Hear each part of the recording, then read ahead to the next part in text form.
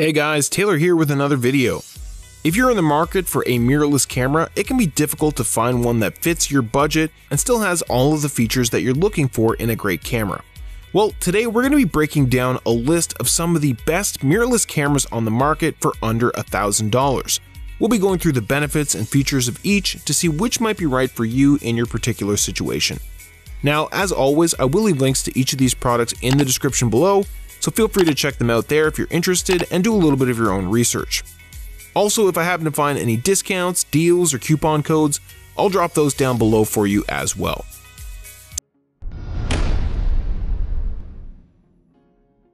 Last up, we have the best portable mirrorless camera for under $1,000, and that's going to be the Canon EOS M200.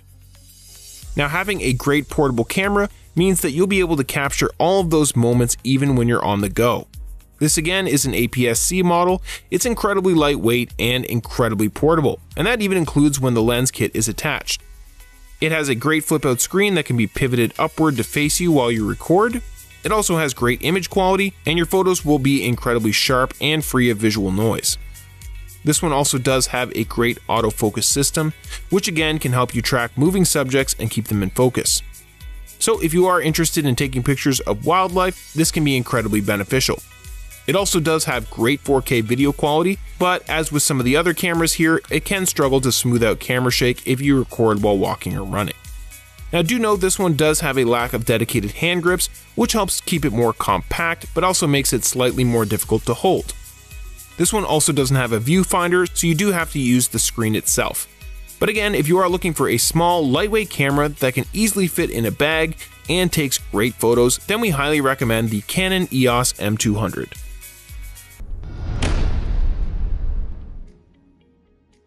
Next up, we have the best mirrorless camera for under $1,000 for beginners, and that's going to be the Canon EOS M50. Now, having a great camera can be incredibly beneficial, but there is often a steep learning curve, and that's why we're recommending this camera for beginners because it is so user friendly. Again, it's a compact APS-C model, and it's very versatile. Now, this one is very easy to use thanks to its touchscreen interface, that can be used to access things like photo and video options, also to change the focus point of your shot, and even navigate the menu. The best thing here is there's a guide mode that will actually walk you through all of the features. In terms of picture quality here, it's pretty decent, and the autofocus system does a really good job of tracking movement. It also has an in-camera HDR mode, which helps capture more detail in high contrast settings.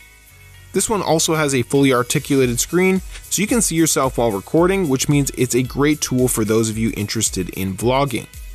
Now do note that this one can record in both 4K and FHD, but the autofocus does struggle to track objects in 4K, and its video stabilization feature does incur a pretty high crop. But again, if you don't plan on shooting a lot in 4K, then this might not be of a concern to you, and this is a fantastic camera overall for beginners.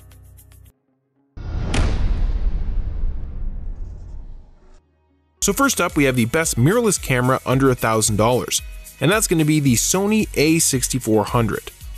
Now this is a very compact APS-C camera and is very versatile overall. It has impressive image quality, it takes detailed sharp photos, it's also very well built and incredibly portable.